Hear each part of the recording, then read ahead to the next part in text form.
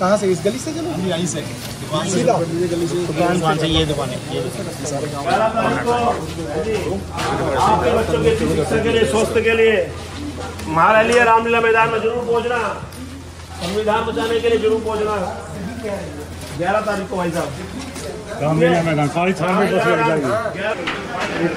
केंद्र सरकार के अध्यादेश के खिलाफ आम आदमी पार्टी ने रविवार 11 जून को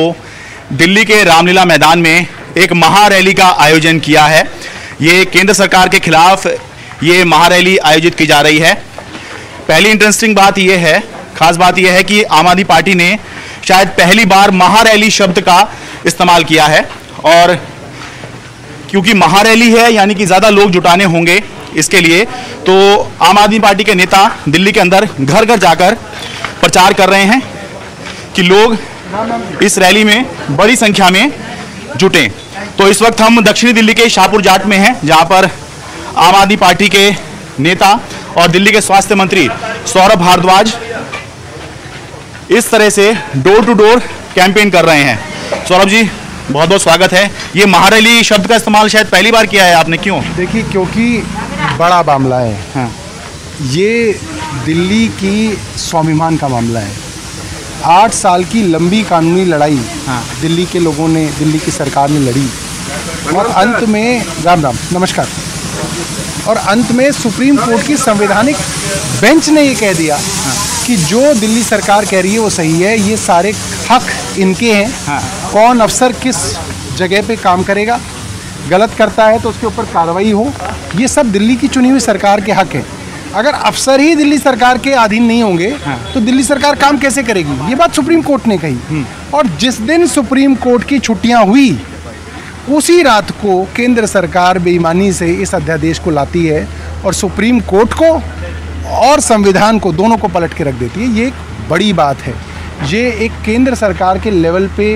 होना बहुत बड़ी बात है और दिल्ली के लोग इससे काफ़ी ज़्यादा आहत भी हैं और परेशान भी हैं और अपना गुस्सा जो है वो वोट में जाहिर तो करेंगे मगर उससे पहले मुझे लगता है एक सांकेतिक तौर पे रैलियों के माध्यम से भी केंद्र सरकार को ये बताया जा रहा है कि आपने जो किया है वो ठीक नहीं किया है आ, कितने की आप उम्मीद कर रहे हैं कितने लोग इस कित, कितने लोग आने की उम्मीद है हाँ। दिल्ली के लोग जनरली क्या है व्यस्त लोग रहते हैं काम काजी लोग रहते हैं हाँ। थोड़ा मुश्किल होता है दिल्ली के लोगों को लाना कई बार देखा है प्रधानमंत्री जी की भी बड़ी बड़ी रैलियाँ उसमें हुई हैं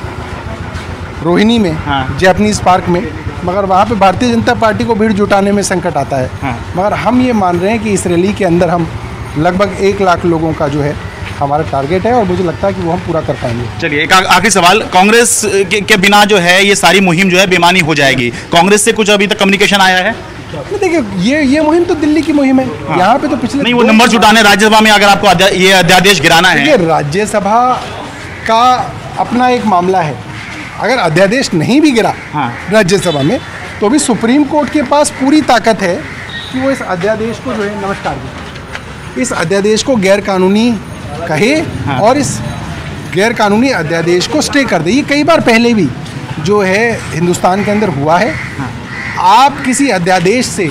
सुप्रीम कोर्ट के फैसले को नहीं पलट सकते आप संविधान की मूल भावना को नहीं खारिज कर सकते ठीक है लेकिन अभी कम्युनिकेशन आया ही नहीं आया इस पर हाँ ना तो बता सकते हैं अब देखिए कांग्रेस का अपना मामला है और कांग्रेस जो भी फैसला करे वो उसके लिए है मतलब हमारे हमें क्या फ़र्क पड़ता है कांग्रेस अपनी पार्टी है उनको जो ठीक लगे वो करे इस महारैली के जरिए आम आदमी पार्टी अपने पक्ष में माहौल बनाने और विरोधियों पर दबाव बनाने की कोशिश करेगी वहीं दूसरी तरफ इस अध्यादेश का बिल जब राज्यसभा में आए तो उसको पास ना होने दिया जाए इसके लिए अरविंद केजरीवाल पहले से ही कवायद शुरू किए हुए हैं और नो पॉलिटिकल पार्टियों का उनको समर्थन मिल चुका है दसवीं पार्टी खुद आम आदमी पार्टी है तो इन पार्टियों का अभी तक जो आंकड़ा बना है वो बना है छियासठ वोटों का और अब बुधवार 7 जून को अरविंद केजरीवाल समाजवादी पार्टी के राष्ट्रीय अध्यक्ष अखिलेश यादव से भी मुलाकात करेंगे अखिलेश यादव और उनकी सहयोगी पार्टी राष्ट्रीय लोकदल के चार वोट हैं चार सांसद हैं राज्यसभा में तो चार ये हो जाएंगे यानी कि जो पहले की दस पार्टियों का मिला के जो वोट बन रहा है अभी तक वो है छियासठ चार वोट और हो जाएंगे तो आंकड़ा हो जाएगा सत्तर सारी जो नज़रें लगी हुई हैं वो लगी हुई हैं कि कांग्रेस क्या इसका समर्थन करेगी कांग्रेस के पास 31 सांसद राज्यसभा के अंदर हैं तो अभी जो लगभग आंकड़ा 70 पहुंच रहा है अगर कांग्रेस आ जाएगी तो यह आंकड़ा 101 पहुंच जाएगा जबकि एनडीए जो है एक अनुमान के मुताबिक एनडीए का जो आंकड़ा है वो लगभग 110 के आसपास है तो कांग्रेस के आ जाने से ये जो लड़ाई है ये करीबी हो जाएगी और इस लड़ाई का मतलब भी निकलने लगेगा लेकिन अगर कांग्रेस इस लड़ाई में नहीं होगी आम आदमी पार्टी का वो समर्थन नहीं करेगी तो इस लड़ाई का कोई मतलब नहीं रह जाएगा क्योंकि इकतीस सांसद उसके पास राज्यसभा में हैं और बेहद अहम ये देखना रहेगा कि